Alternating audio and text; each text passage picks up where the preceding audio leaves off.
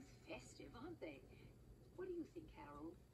Um, yes, yes, fine, fine. Oh, try to at least pretend that you're interested in your daughter's wedding ball. Honestly, Lillian, I don't think it really matters. How do we know there's even going to be a ball? Mom, Dad, Oh, hello, dear. Um, wha- what's that, Cedric? Right, coming. Mom, have you seen Shrek? I haven't. You should ask your father. Be sure and use small words, dear. He's a little slow this morning. Can I help you, Your Majesty? Ah, yes. Mmm, exquisite. What do you call this dish? That would be the dog's breakfast, Your Majesty. Ah, yes. Very good. Carry on, Cedric. Dad, Dad, have you seen Shrek? Uh, no, I haven't, dear. I, I, I'm sure he just went off to look for a nice mud hole to cool down in.